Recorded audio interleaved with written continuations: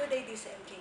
Right now, we are here with the mayoralty candidate of Morong Bataan, no other than Miss Mary Jane Manalo Garcia. Good day. Hello po, good afternoon po. Ah, maraming maraming salamat po at pinaunlakan niyo po ako para po dito sa pag-interview po at makilala po ako ng mga tao.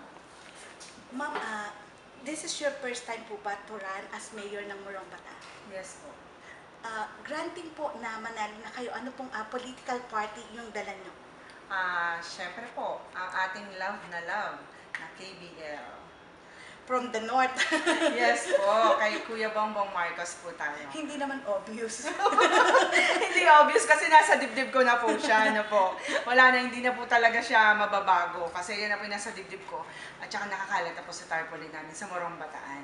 Ah, ma'am, ah, if ever, God willing na kayo yung maupo na mayora sa Morong Bataan, ano po yung first ah, legislation being the executive, chief executive ng Morong Bataan, ano po yung unang yung gustong execute, especially now that we are on the pandemic?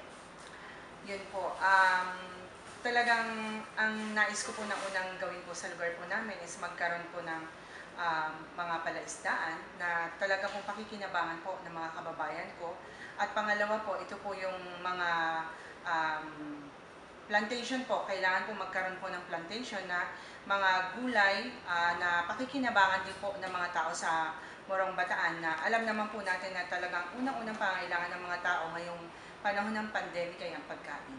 Yun po ay libre lang po natin ibibigay po sa kanila. Lastly po, your message doon sa inyong ah, mga fellow Morong Bataan.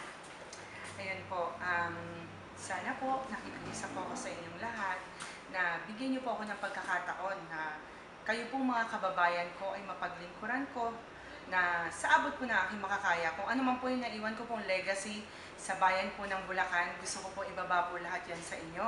Na ngayon po na alam ko po na sa tamang edad na ako para po maglingkod po ng tunay na serbisyo para po sa ating mga kababayan sa Morong.